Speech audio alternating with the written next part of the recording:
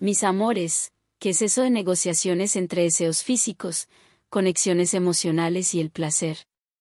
Les tengo una pequeña peli donde se exploran las complejidades íntimas del deseo y la conexión, en la relación de Nicky y Kat.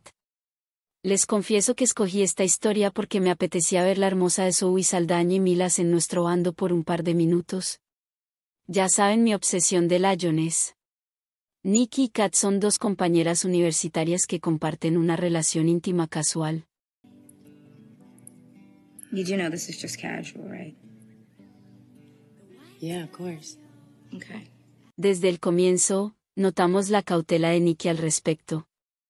Aunque está abierta a la experiencia física, Nikki evita explorar conexiones emocionales profundas y se resiste a etiquetarse como queer. Nikki permite que Kat le practique el curilingi, y aunque Nikki insiste en que no es lesbiana, aprecia el acto porque Kat lo hace mejor que un chico. Ella le pide y refuerza a Kat que no se enamore, que su relación es solamente física. Nikki es cautelosa en desarrollar cualquier tipo de apego emocional. Su personaje representa las complejidades e incertidumbres que pueden surgir cuando alguien lucha con su propia identidad y deseos. Kat, en contraste, muestra seguridad y apertura desde el principio.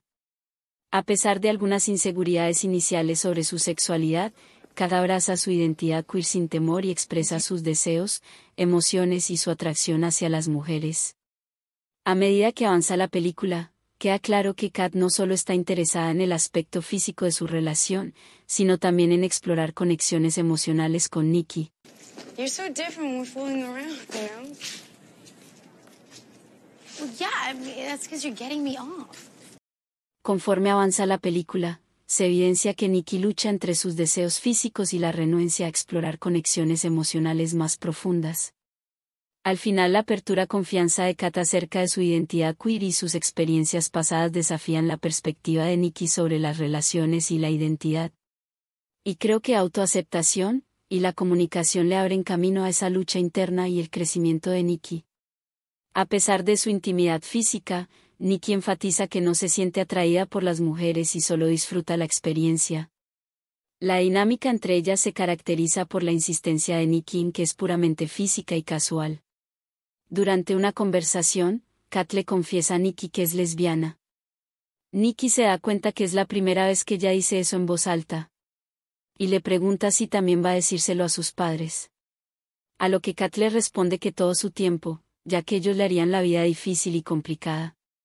Esta revelación resalta la disposición de Kat para abrazar su verdadero yo y su deseo por una conexión más profunda. Su apertura contrasta con la vacilación de Nicky para reconocer cualquier conexión emocional.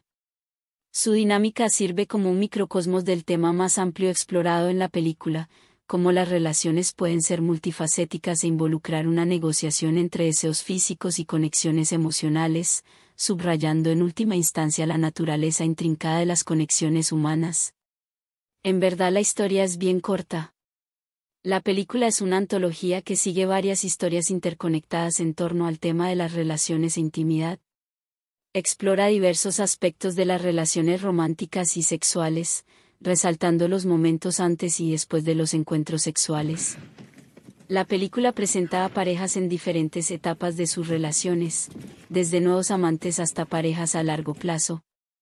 Profundiza en sus conversaciones, emociones, inseguridades y vulnerabilidades mientras navegan por las complejidades de la conexión humana. Cada historia ofrece una visión de la vida de los personajes, explorando sus deseos, temores y dinámicas de relaciones.